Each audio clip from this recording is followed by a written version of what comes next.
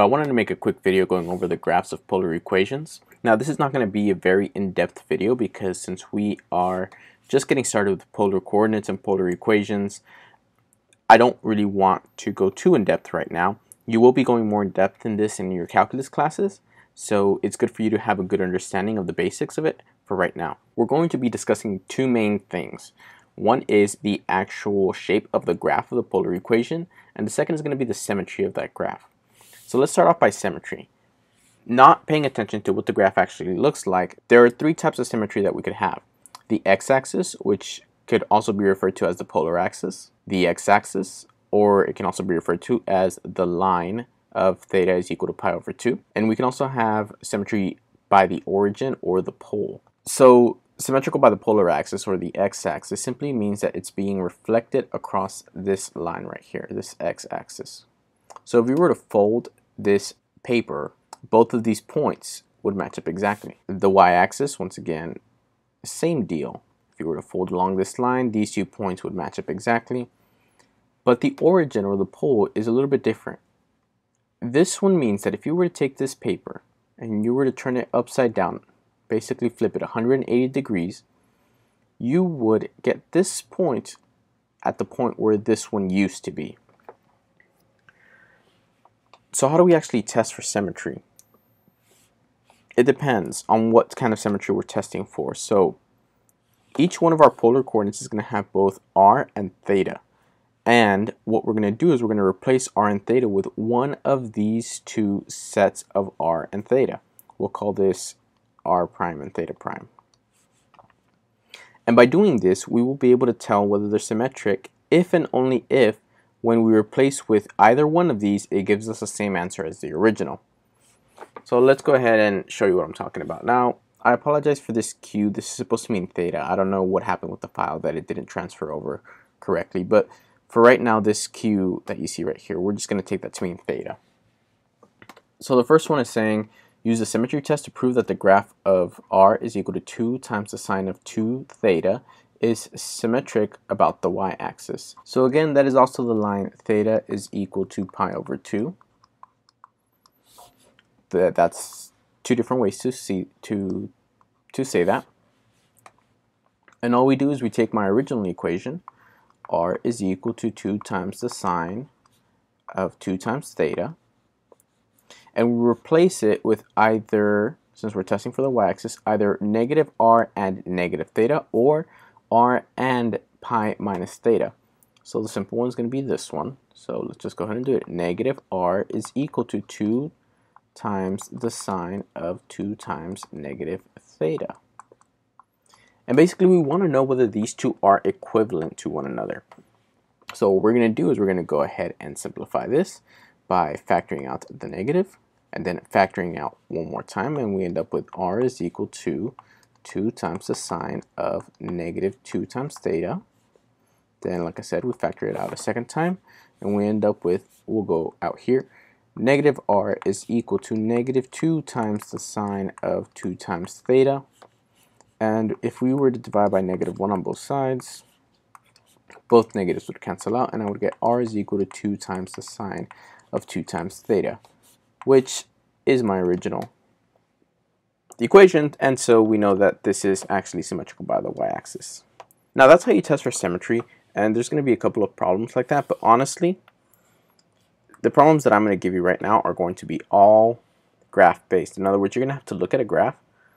Let's draw something like a heart, for example. And I know this isn't perfect, but you would just say, hey, is this symmetrical by the y-axis or the x-axis? It would not be symmetrical by the x-axis here. And it would be symmetrical about the origin and from there you're going to be able to figure out and we'll look at a few examples at the end of the video. Um, rose rose curves and limaçon curves are going to be two of the main types of graphs that we are going to look at so I wanted to cover those very very quickly. Now rose curves are pretty cool.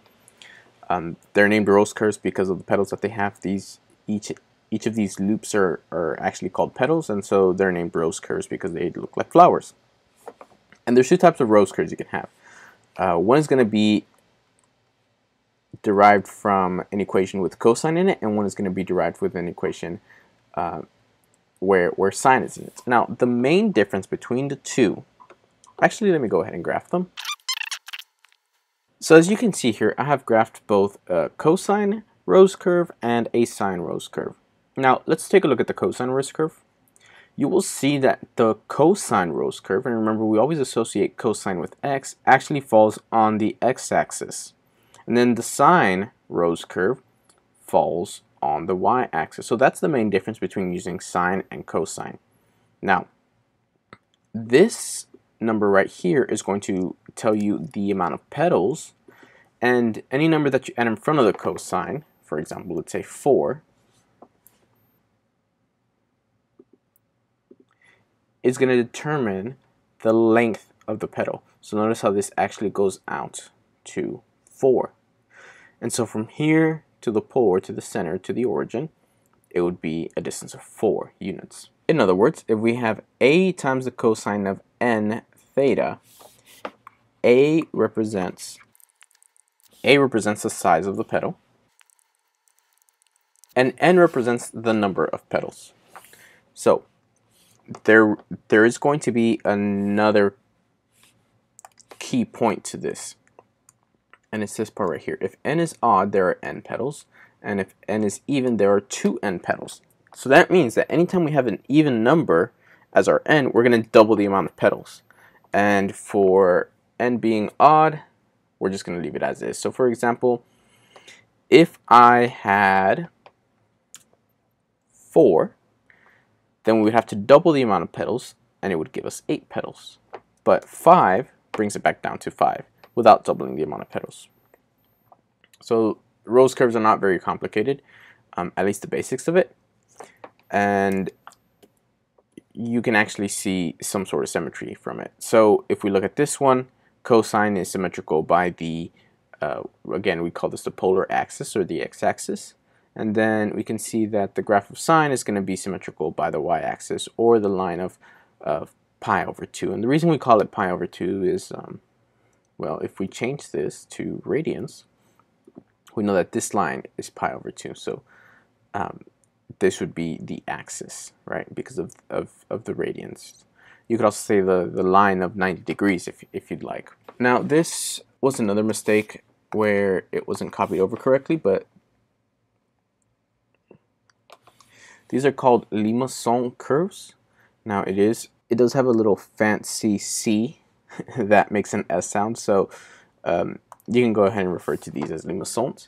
And um, and these curves are pretty interesting. They look like a circle with a um, well, they call it different things. They either call it an inner loop, uh, a dimple, um, but but but we'll we'll end up calling this a little loop. So the graph for these is going to be r is equal to a plus or minus b times the sine of theta, or the same thing, but with the cosine of theta. So based off what we discussed with uh, rose curves, what do you think the difference between the sine and the cosine will be? Well, if you're not sure, let's go ahead and graph these. Now, for these to be Limaçon curves, we're to need to go ahead and make sure that we're adding these. So notice the difference.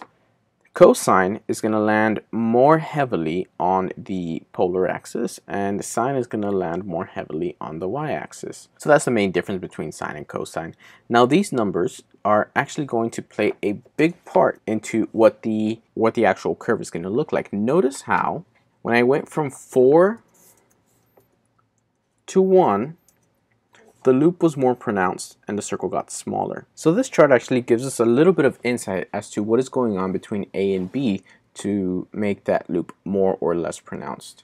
So right here we have a limaçon with an inner loop of if we have A and we divide it by B and that is less than 1 then we have a very pronounced loop and of course the smaller or or, or the closer to 0 that that is the, the more that loop is going to be pronounced a cardioid, it kind of looks like if it has a little heart. It's where it, where it has a really sharp edge going in.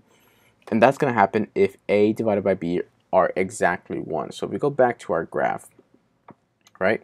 If I'm going to divide A and B, So that would be something like that. It has a very pronounced loop. Now, if we make this bigger, it's going to have a bigger inner loop. And if we make this smaller, for example, we'll make this 3 and we'll make this 2.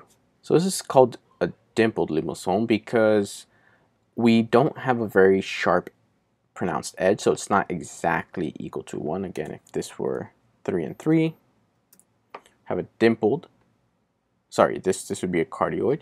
And then if we have something between 1 and 2, then this would go ahead and just be a bit of a dimple. Now, if we have something that's exactly 2, sorry, 1.5, then we have what we call a com convex limaçon. And that basically means that it's got a flat edge right here. So it's going to be important for us to know which kind of limaçon we're working with. And by simply taking A and dividing it by B, we're going to be able to tell kind of what the graph is going to look like. Now, some of the questions they may ask you are, show the graphs of r is equal to 4 plus 3 times the cosine of theta and r is equal to negative 4 plus 3 times the cosine of theta. And they want to know whether these are the same limaçons or not. And what we can actually go ahead and do is you can actually graph both of them.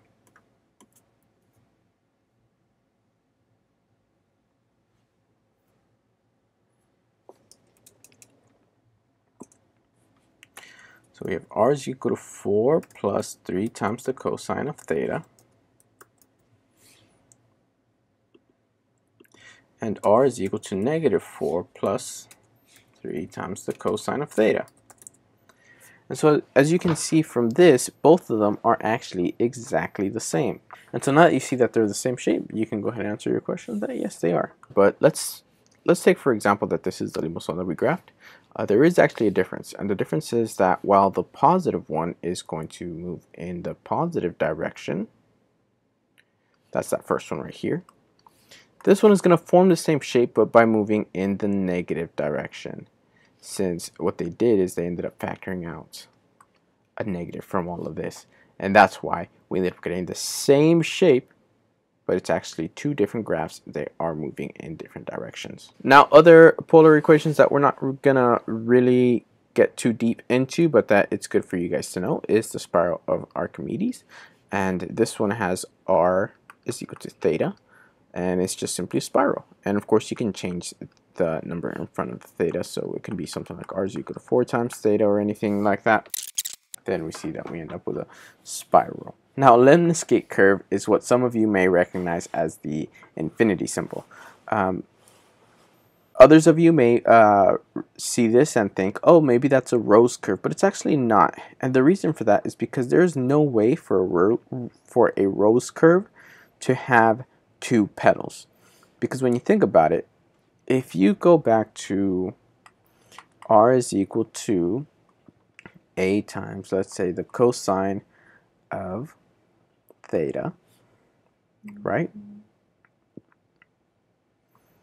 of n times theta, um, there's no way to get this end to give you two petals because if you put in r is equal to let's just say cosine times 2 theta this is going to have four petals because remember that when n is even it doubles so the only way to get a lemniscate to get an infinity symbol is to use squared. So notice how this is r squared is equal to a squared sine times 2 times theta. So let's go ahead and try to graph it. Now I think Desmos might actually let me graph a, a lemniscate no problem, but let's see. 1 times, let's say the cosine of 2 times theta. And see, it actually won't let me graph it, but there is a way around this. If instead we square root both sides, there we go. It actually allows me to graph the lemniscate, no problem. So before you try to input this into your calculator, go ahead and make sure that you get rid of that squared by taking the square root of both sides. And then you shouldn't have a problem.